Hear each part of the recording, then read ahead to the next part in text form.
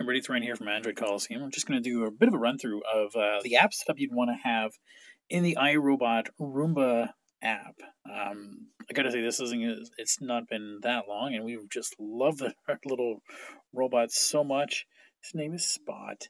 Uh, refer to him as our new little pet. So let's just first, uh, I'm not going to go through the whole walk up uh, through as you would get set up, but I wanted to make sure, you, so you're in the smart home, you can adjust your account, etc. there. Um, but we're in the smart home app, and I just wanted to go down. Um, was it here? Count. Uh, no, no, no, no. Sorry. Uh, let's go down to the bottom. No, was here. Smart home. Right, that's right. We're in the smart home features. Um, and you want to make sure first off that you're set up with Google Assistant so that it knows that you can actually actually ask your your home minis or any of your assisted devices by you know voice commands to control this and that's kind of cool you can even do things like automations in terms of like instead of doing a schedule which i'll get to later you can just get it to say well once i know that you're no longer home i can do a cleaning run but we'll, we'll talk about that later so i just want to make sure that's one of the first things i like to do is make sure it's set up with there after it's set up uh, you go through um so the other thing is if you scroll all the way to the bottom, we go down to the robot settings, we can see all about Spot, and I think this is kind of cool. So you want to give him a name, Spot, because uh, again, you can control control that with your assistant. Um, and, you know, you can call him Dustin. You can call him all sorts of fun things, and it gives him a birth date. Oh, okay. And then we can go through our other settings, make sure they're all there as well. But that's where you would go and adjust to see where his name is. So immediately, what you'd want to do is say, okay, let's do a new job. Um, but in the beginning, none of these floors are going to be there. So what you would first do is actually say vacuum everywhere. And that's just going to get him to go from the base and go all the way around the house and uh, just kind of figure out his map. And it's going to take a while for it to figure out where things are, and it does take a longer time um, to do that. But eventually, it's going to figure this map out and say, hey, I think I've got an idea of what I'm looking at here. So, and this is where we, we take a look at the map. So we need that map. Now, I've set it up for three different like maps. Our main floor where the base is, and you can see um, I have a the basement, and then I also have our back landing, which is just like the porch back there. So there's three separate. Now, the way I did these is you would just pick up spot, put them down in, into one of the other map areas, and just tell it to clean or do a clean everywhere. It'll recognize it's not near home and then try to do as much as it can for cleaning. You can also do a. Uh, well, I can't do it now because it's not there uh, do a mapping run or something like that. I'm not showing. Uh, well, if well if it was still learning, you would say do a mapping run. I I had to customize it because every time I get it to do it, it would just just add new maps. So eventually, I had to say, you know, just customize this map, you know, and and save it, and then I would be able to do that. The main floor, it, it just figured it out. Anyway, so now we have a map. Now it's going to start suggesting that there might be floors on this map. And now automatically you might automatic have those on there. If it doesn't, you can say, let's add a room divider. You can add a new room divider if you wanted to. So if I wanted to really separate out, you know, some area of the room from something else, but I don't want to here. But let's say I wanted to adjust, because right now it used to be this living room was this big thing here. I added in that little line for the foyer when you come in our house. But I, I wanted to tap that one I can move that to wherever I think the foyer is. I can rotate it around. I can use two fingers and do that. I'm just going to cancel leave it there. So I can play around with those rooms, and then I would then, you know, go back out, and then you can take a look at labels of the rooms, and then you would tap that label, and you would call it what?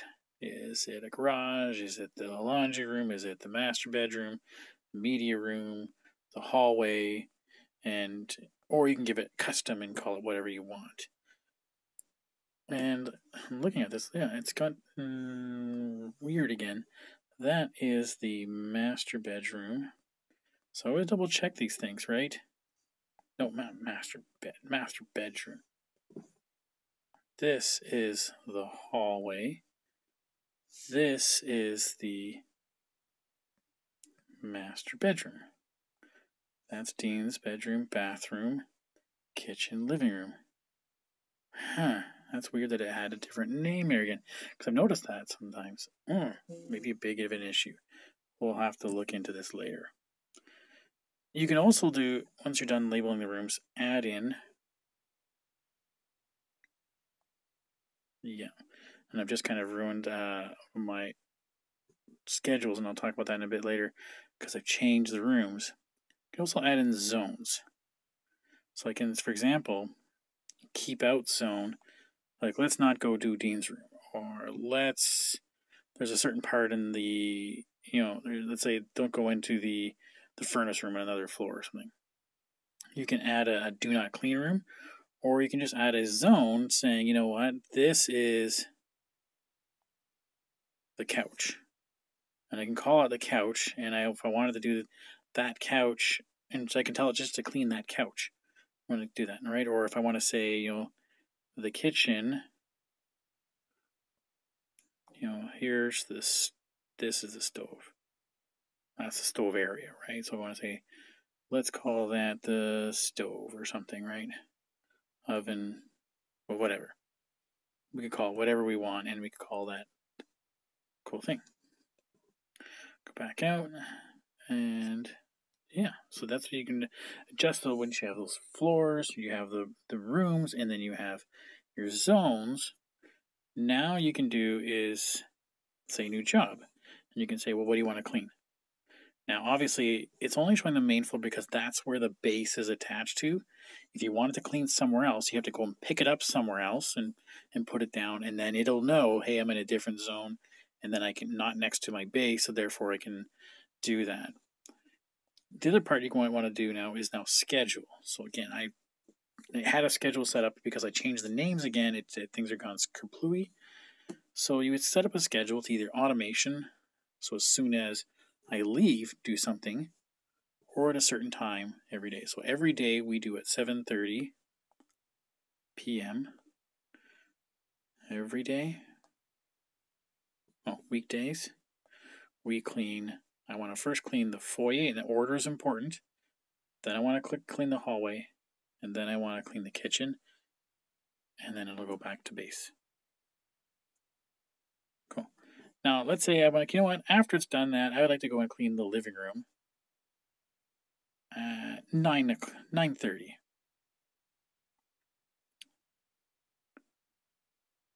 Monday, Tuesday, Wednesday, Thursday, Friday. Now, what's going to happen is it says, well, you're already cleaning at 7.30. You should probably make sure we have three hours in between. I don't know why it needs three hours because it, it usually only about 70 minute battery. Um, so it doesn't really need that long, but I guess if it has a big job, it wants to have enough time in between.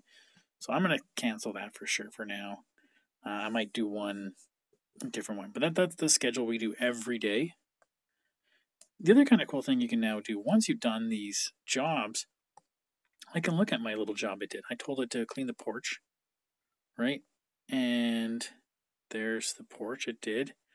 And those little dots tell you those are like extra dirty spots. That's the porch, that's the foyer area. Now, again, I've change the names of, oops, a little bit. Let me just make sure. Those are all looking right. Okay. Back to the history. So I can see the job I did there. I can see, whoops, Let's go to a bigger job today. Well, let's go tap the whole history thing. And this is kind of cool. I love charts. I don't know why, but I do. So here's a, a job I did today. Now, this one got weird because it, it was supposed to go out, do the hallway, and then kitchen, and then come back, do the then. But it went into Dean's room. It, started, it had Dean's name, room as scheduled there, so it's kind of weird. Um, so I had to cancel it, or when I came back and I had canceled. But you can get details. Okay, it cleaned so much area, uh, how many different dirt events it had, how long it cleaned for, etc. So I just love having this kind of data. Here's one yesterday. It got stuck. Again, it was cleaning an area, and then it started cleaning living room. I don't know why. And then it had docking issues connecting to the dock. It was weird. But I love Spot. He does a really good job for the most part, most times. And there's there's a normal clean job. And look, no real dirt dirty spots because we've been doing a fairly clean one. Now there's one where, where it's uh, a little messier there. Cool. But that's the app in a nutshell. I really like this. I think the app is makes it super handy, and the fact that you can use your Google Assistant to voice automated if you wanted. So if I was cleaning the kitchen, I could just tell it have Spot clean by the stove. If I had mapped the zone out, it'll do it. Have Spot clean the foyer. Have Spot clean Dean's room. It'll do it. Great. It's a great app, and uh, you have to set it up here in the brain of the app. Okay. Thanks, everybody. Boop.